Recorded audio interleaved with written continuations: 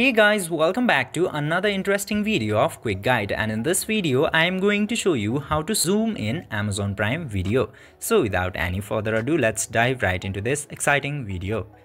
Now, in order to zoom in Amazon Prime Video, just simply tap into this Amazon Prime Video application at first and after that go to the content which you are playing currently.